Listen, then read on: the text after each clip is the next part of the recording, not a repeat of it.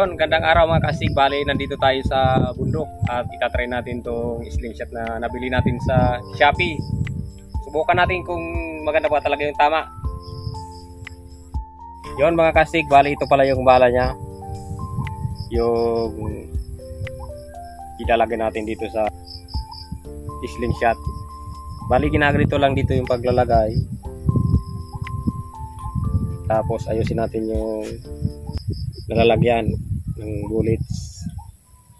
Tapos may laser. Yan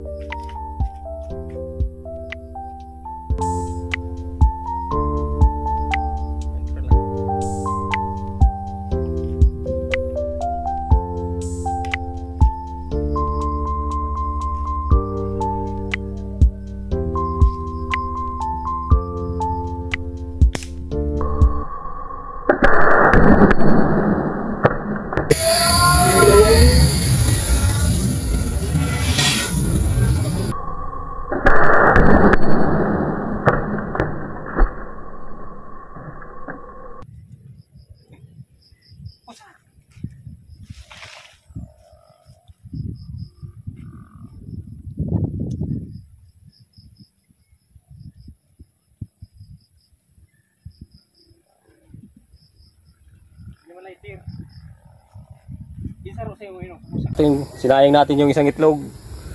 Ayos, mga kastig, pwede kayong bumili sa Shopee. Pang hand ng ibon. Kaso bawal.